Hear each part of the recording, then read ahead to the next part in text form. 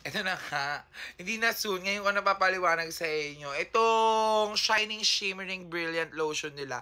Ito yung mga napapanood ko sa mga Chinese na mga transition. Yung mga nilalagay dito sa leeg. Tapos biglang magka-transition kayo na pag gumalong kayo.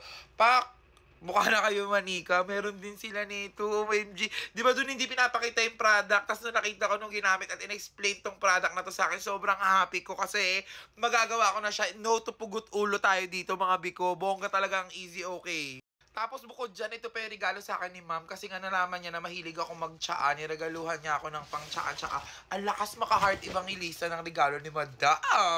Ma'am Cara, thank you so much. Sobrang happy ko talaga dito. Di ba mga biko? Lakas maka-ancient Chinese kineso. Di ba? Ay! Thank you ma'am. Sobrang appreciated ko. Tsaka sobrang mahilig ako sa mga ganitong eksena.